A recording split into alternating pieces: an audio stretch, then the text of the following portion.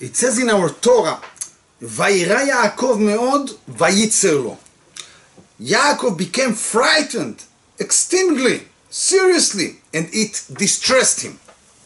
And it's very, very, very weird because what he's got to be afraid from. A second ago, he was speaking with the angels and he sent them to do action in his sake. And for sure, his level is very high. He was able to speak with the angels and they're going to just do what he said. So, what he got to worry about? More than that, we know that Hashem promised Yaakov Avinu, I'm going to be with you and I'm going to watch and guard you for everything you're going to do. But Rabbi Yechezkel Levinstein, Zichrono Levracha, explained to us that we can learn from here a very serious foundation how Hashem run the world and what we should do. A person should never be tempted and get excited from his level or success. A person should not think that he's already fixed and the future is granted. Yaakov, Yaakov Avinu prepared himself to the encounter with Esav, his brother. He he sent present. Also, he prepared himself for a war. He didn't took the situation as clear cut, granted. They say that once the Chidushei HaRim was going in a carriage with few Hasidim.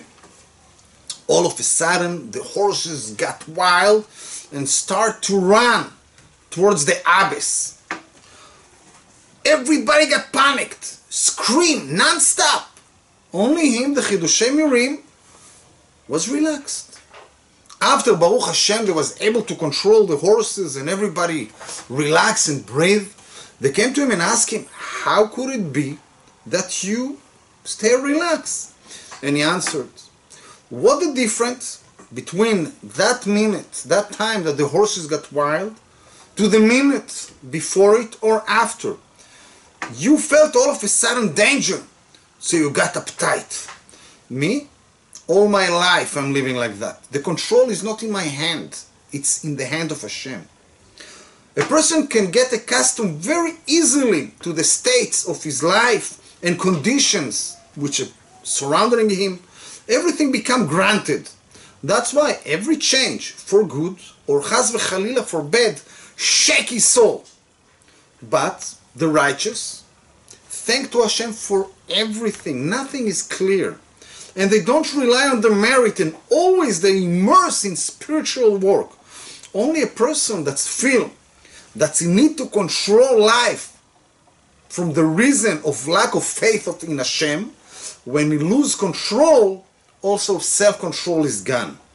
Bezat Hashem, we should believe truthfully that everything is in the hand of heaven except the fear of heaven, and by that we always going to be ready and not take things simple and granted and not get worried because the control is from above. Soon Hanukkah comes like the dreidel. We're doing a small movement from above and it's continue turning.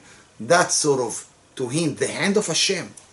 A small movement and it's on the go as long as you believe that somebody is turning everything from above.